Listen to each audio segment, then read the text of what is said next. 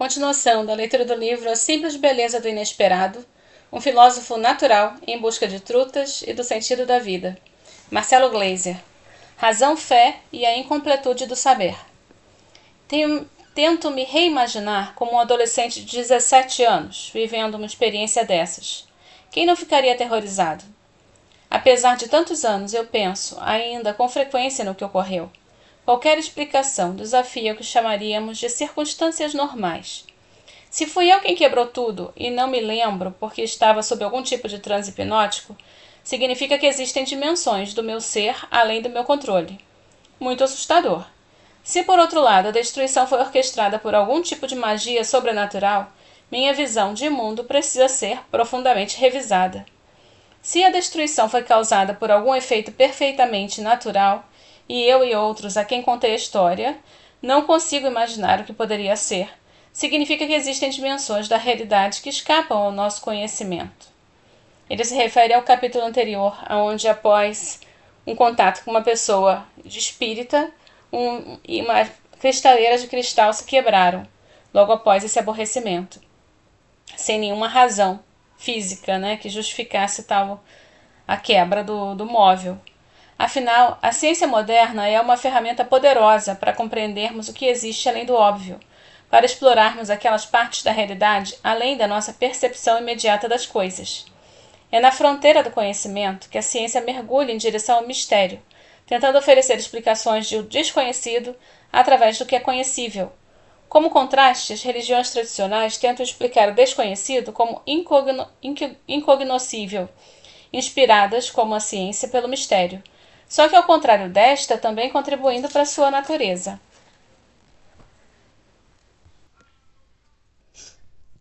Esse é o objetivo principal da ciência, dar sentido ao desconhecido. Mas é bom lembrar que, pela sua própria natureza, a construção desse conhecimento sobre o mundo não tem fim.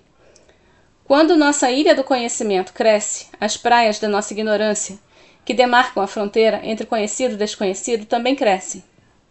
Quanto mais sabemos, mais descobrimos o quanto não sabemos.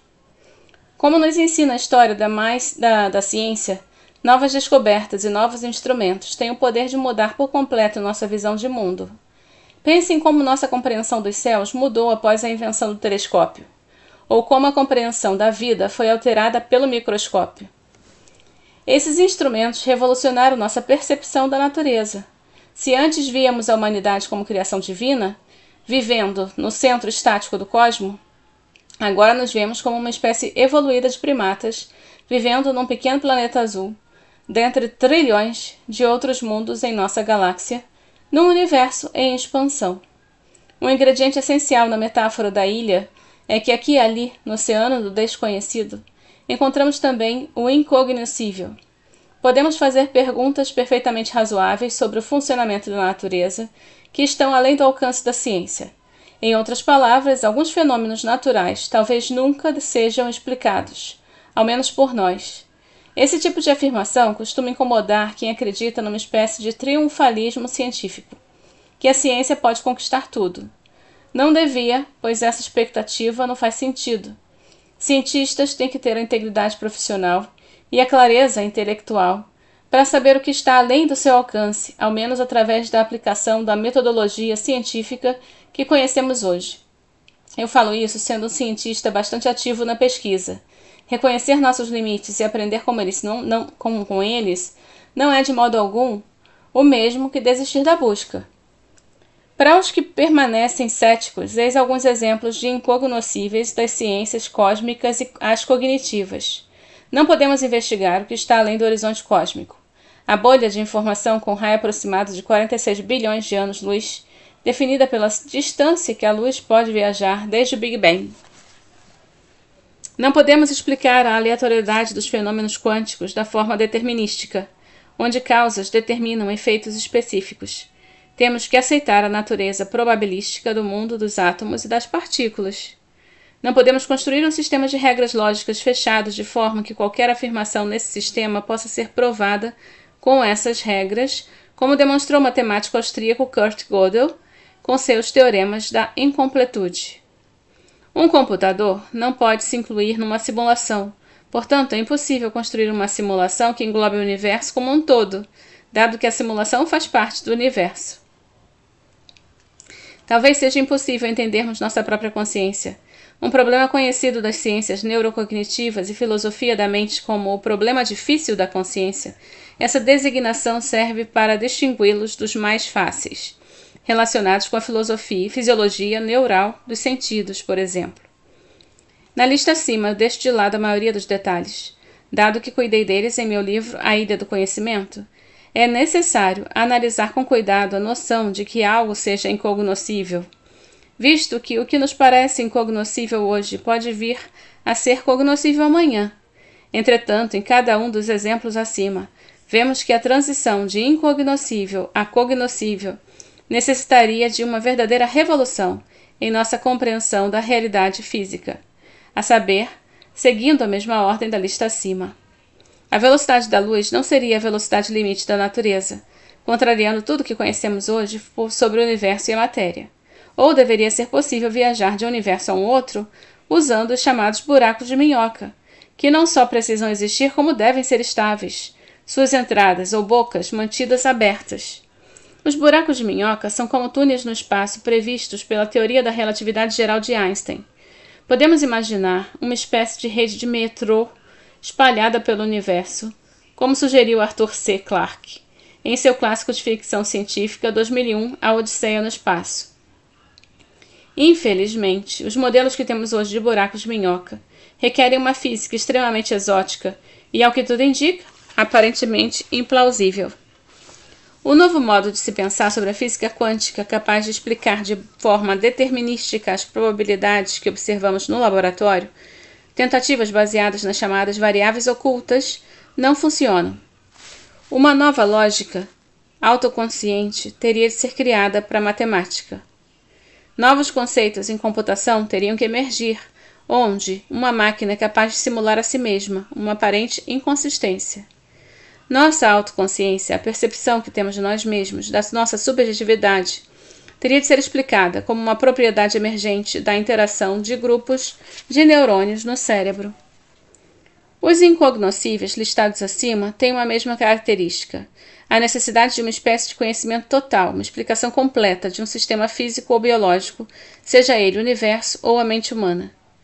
Conhecer o universo como um todo, sem poder sair dele, explicar deterministicamente todos os resultados possíveis de um sistema quântico, incluindo as probabilidades relativas entre um resultado e outro. Ter uma matemática completa, logicamente fechada. Ter uma simulação completa que inclua a si mesma. E ter um cérebro capaz de se descrever por completo. A existência de limites e um conhecimento completo, um saber absoluto, foi explorada por dois de meus heróis intelectuais, Jorge Luiz Borges e Isaías Berlim. Ambos argumentaram contra a possibilidade de se alcançar esse objetivo, sugerindo uma postura de humildade perante questões que envolvam o conhecimento absoluto das coisas. Berlim, em particular, argumentou que esse tipo de convicção é potencialmente muito destrutivo socialmente. Na política, na religião e várias outras atividades sociais, ideologias opressivas nascem da crença de que um sistema de valores é superior a todos os outros. Os que não concordam com esses valores são designados inferiores, criando uma divisão conflituosa na sociedade. Em seu conto A Biblioteca de Babel, Borges conta a história dos bibliotecários responsáveis por uma biblioteca que contém todos os livros que já foram e serão escritos. Dado que não existem limites para como as letras do alfabeto podem ser concatenadas, os livros não precisam fazer sentido. A biblioteca, ao menos potencialmente, era infinita, um grande desafio para os bibliotecários era encontrar o catálogo completo, aquele que incluísse todos os livros da biblioteca. O problema era que, mesmo que se esse catálogo existisse, outro teria que incluí-lo, e este, por sua vez, necessitaria de outro que o incluísse, e assim por diante. Ou seja, a estrutura é como a de uma cebola infinita, camada externa contendo as outras, com sucessão sem fim. Não pode existir um catálogo completo que inclua todo conhecimento já que o outro catálogo teria que incluí-lo. O conto investiga o infinito, deixando claro que o infinito é uma ideia. Qualquer tentativa de transformá-lo em algo real está fadada a falhar. Somos uma espécie que, apesar do nosso tamanho finito e capacidade racional limitada, somos capazes de conceber a ideia do infinito. Podemos imaginar o infinito, usá-los em cálculos. Podemos até representá-lo graficamente, conforme mostrou Brunelleschi e um dos mais geniais pintores da Renascença, por inclusive, com a invenção da perspectiva para capturar o infinito numa tela de duas dimensões. Ou como nas gravuras paradoxais de M.C. Escher, o ilustrador holandês. Mas pensar o infinito não é o mesmo que provar sua realidade. O infinito pode até existir, por exemplo, o universo pode ser espacialmente infinito, não tendo começo ou fim, mas não podemos ter certeza disso. Nenhuma medida pode provar que o universo é infinito com absoluta certeza. Também não sabemos se a Terra é uma esfera oblata. Podemos acreditar no infinito, dado que sabemos, mas não mais do que isso. Berlim insistiu na impossibilidade de qualquer tipo de saber absoluto ou total, chamando essa crença de falácia tônica, iônica, uma frase que forma tudo consiste em ou tudo é ou nada é a menos que baseada em resultados empíricos. Não tem qualquer significado, dado que uma proposição que não pode ser refutada ou questionada não se oferece qualquer informação. Em um dos seus últimos pronunciamentos públicos, quando recebeu o grau de doutor honoris causa da Universidade de Toronto, Berlim expande suas ideias ao pensamento sociopolítico. A ideia de que todas as questões genuínas têm apenas uma resposta verdadeira é bem antiga na filosofia. Os grandes filósofos de Atenas, os teólogos do judaísmo e o cristianismo, os pensadores da Renascença e na França do, do Luís, do Luís XIV, os revolucionários franceses do século XVIII ou do século XIX, todos eles, mesmo que divergissem nas suas respostas ou em como deveriam ser obtidas, o que ocasionou muitas guerras no decorrer da história, todos estavam convictos de que tinham a resposta e que apenas a estupidez humana poderia obstruir que a tornassem uma realidade. Essa é a ideia do que falei, e que digo a vocês que é falsa, não apenas porque as soluções encontradas por diferentes escolas de pensamento social são diferentes, e nenhuma delas pode ser comprovada por métodos racionais como sendo a correta, mas por uma razão mais profunda, os valores centrais adotados pela sociedade através dos tempos não estão sempre em harmonia entre si a, a, a message do, do 21st Century, New York Review of Books, foi a fonte utilizada. Iônico faz referência ao primeiro grupo de filósofos da Grécia Antiga, na região conhecida como Iônia, hoje na costa oeste da Turquia. Já em torno de 650 a.C., os iônicos buscavam por uma explicação única para o mundo material acreditando que tudo que existe viesse da mesma substância. Para Tales de Mileto, o primeiro deles, essa substância primal era a água.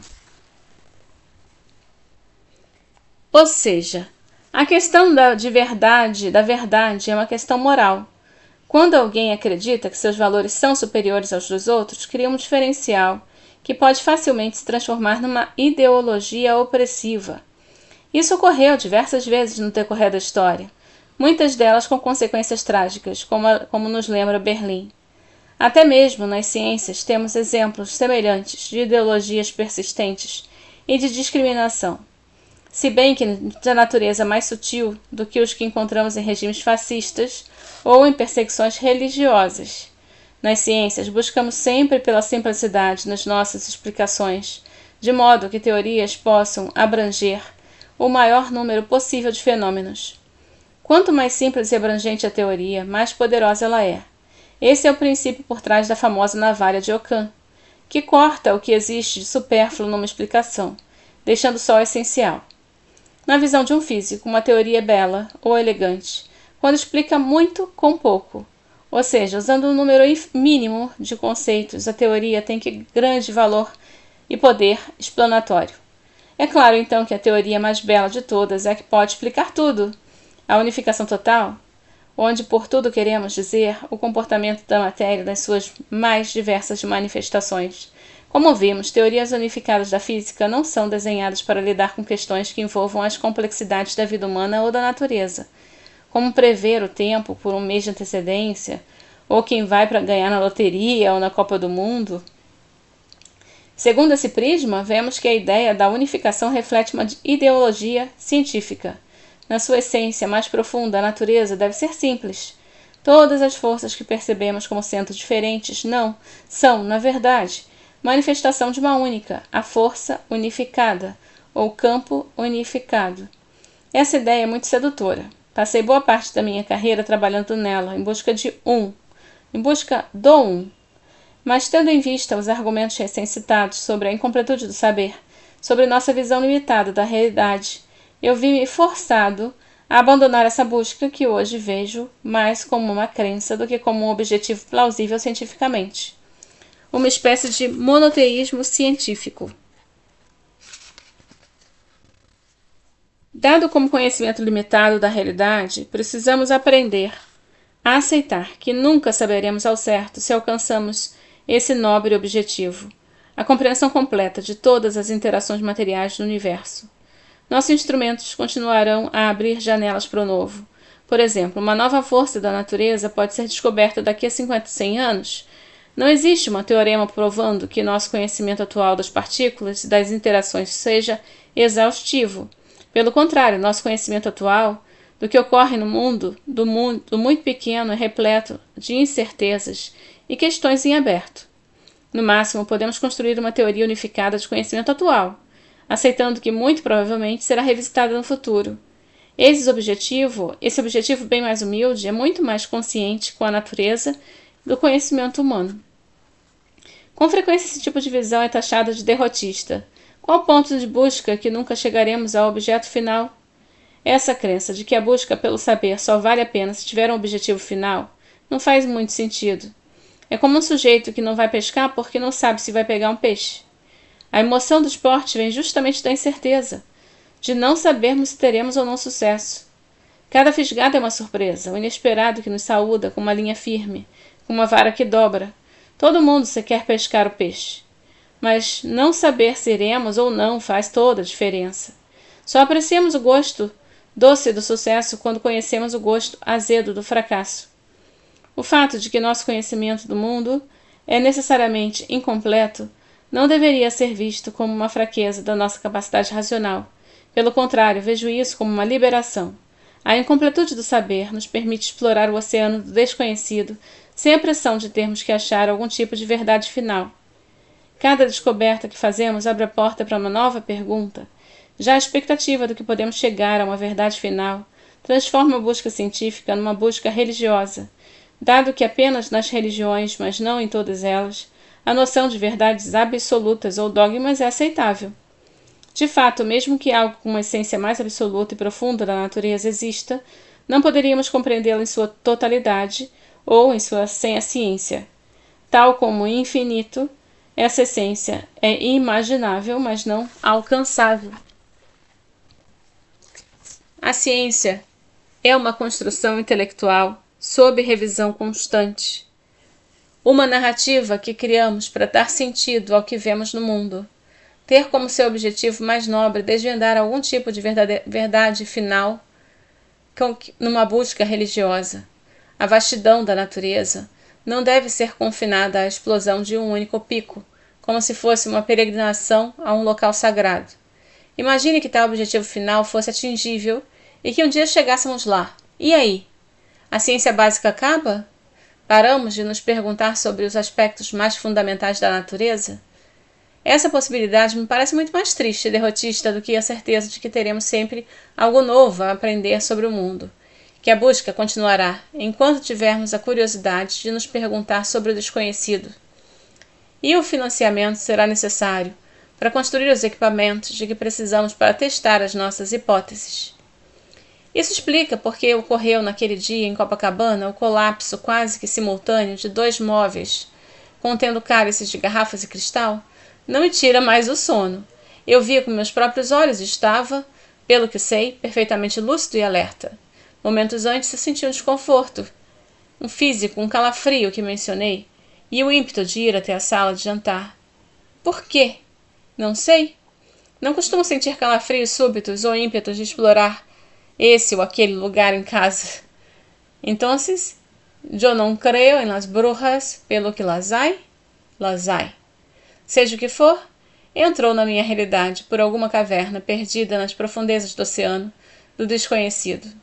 Retornando a ela antes que pudesse ser desmascarado, o intruso cuja natureza permanece tão misteriosamente hoje quanto há 40 anos atrás.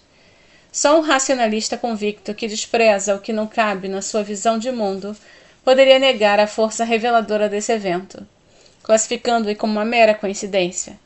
Esse tipo de atitude, o desprezo sumário pelo que não se encaixa numa visão pessoal de mundo, me parece mais um sintoma de medo do que de convicção. Feito o avestruz que prefere enterrar a cabeça na areia do que encarar o que está bem à sua frente. Atenção! Avestruzes de verdade não enterram a cabeça na areia quando tem medo. Isso foi uma criação do cinema e dos desenhos em quadrinhos. Para essas pessoas, a alternativa é aterrorizante. Aceitar o mistério, aceitar que existem coisas além do alcance da razão, coisas inexplicáveis. Por outro lado, será que é possível aceitar o mistério e, ao mesmo tempo, buscar por explicações racionais do mundo natural? É possível e mais fácil do que parece. Explorar ambos os caminhos, nos, nos inspirando pelo mistério, enquanto a razão ilumina o que está pela frente, dá sentido à nossa busca, às nossas vidas.